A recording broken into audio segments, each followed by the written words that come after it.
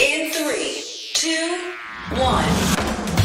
Seven things you probably didn't know you need to know. I'm Jamie East, and this, this is the Smart 7. Good morning, everybody. It's Wednesday, the 10th of November, and it's Sesame Street Day. And a big happy birthday to Hugh Bonneville, Ellen Pompeo, Tim Rice, and Taron Egerton. There were 33,117 new cases of COVID 19 yesterday and 262 additional deaths. And after much speculation, Health Secretary Sajid Javid finally confirmed that frontline NHS workers in England will have to be vaccinated by April in order to keep their jobs. The weight of the data shows our vaccinations have kept people safe and they have saved lives. We must avoid preventable harm and protect patients in the NHS, protect colleagues in the NHS, and, of course, protect the NHS itself.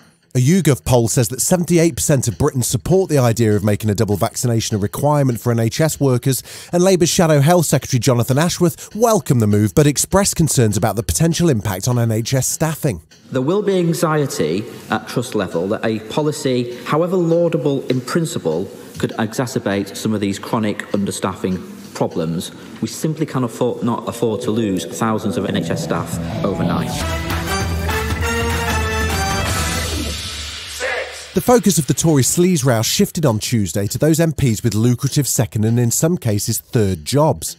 The spotlight in particular was on MP and former Attorney General Sir Geoffrey Cox, who spent some of the pandemic doing legal work in the British Virgin Islands and getting £700,000 for his troubles. Labour's demanded an investigation, and party chair Anneliese Dodds says it's time for the Prime Minister to act. They're concerned about this corruption scandal that's getting deeper and deeper. We're seeing more and more instances of behaviour that most people would view as beyond the pale, and a Conservative Prime Minister who is refusing to take action.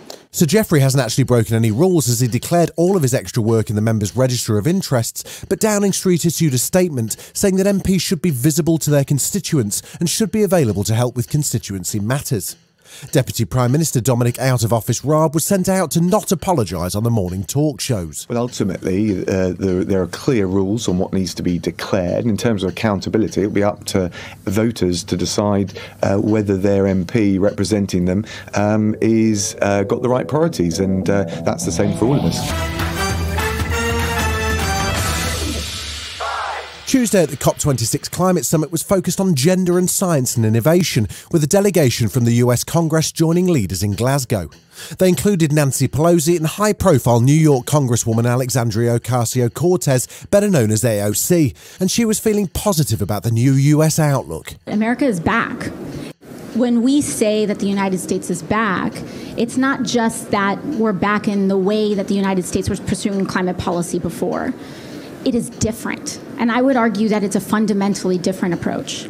And she recognised that the last four years damaged the US's moral authority in climate change as Donald Trump withdrew the US from the Paris Accord and refused to engage on the climate crisis. We have to actually deliver the action in order to get the respect and authority internationally, to get the credit.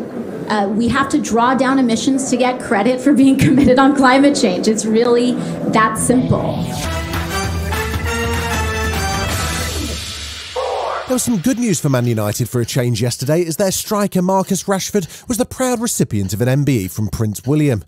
The 24 year old was recognised for services to vulnerable children after his high profile campaign over free school meal vouchers. He's not done campaigning though, although he is hopeful there might be an end in sight for childhood poverty.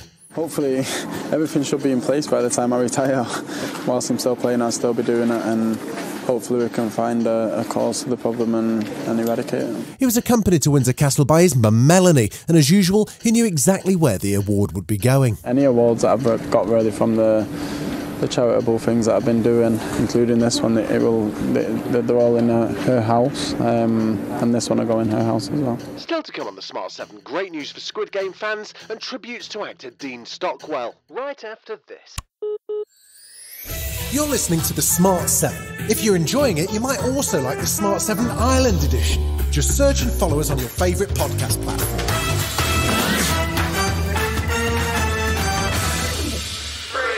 Nicola Adams has always been a trailblazer. She became the first female boxer to win an Olympic gold in London 2012 and the first double Olympic champion when she won gold again in Rio. She's undefeated as a professional boxer and held the WBO female flyweight title. She was also part of the first same sex couple on Strictly. It's a remarkable life and career, and now she's opened up on the struggle she went through to get success in a new Amazon Prime documentary that drops this weekend called Lioness The Nicola Adams Story. The boxing ring was less dangerous than being at home. She wanted to be strong physically, mentally. She wanted to protect herself, protect her mum. Nikki's witnessed a lot of violence. It's a lot for a kid to check in. I was fighting for everything. I was fighting to survive.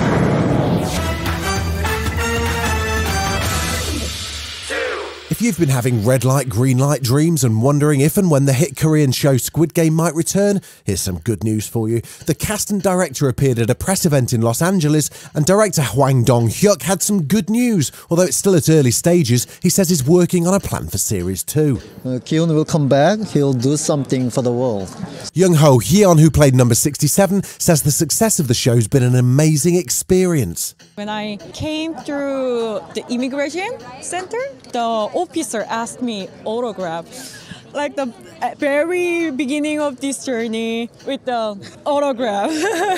so it was like amazing. The death was announced on Tuesday of Dean Stockwell, a star of both TV and movies, and perhaps most famous for the time travelling hologram character Al in Quantum Leap. He started as a child star with Frank Sinatra, won Best Actor a number of times at the Cannes Film Festival, then dropped out to become a hippie, before returning with a role in the original Dune and an iconic lip syncing moment in David Lynch's Blue Velvet. He was nominated for Best Supporting Actor Oscar for Married to the Mob and also appeared in Star Trek Enterprise and Battlestar Galactica. He was 85 years old. Rest in peace, Dean. I saw a star explode and send out the building blocks of the universe. And you know how I perceived one of the most glorious events in the universe? With these ridiculous gelatinous orbs in my skull. This has been The Smart 7. Wherever you're listening, do us a favour and hit the follow button. We'll be back tomorrow at 7am. Have a great day. Written, produced, and published by Daft Doris.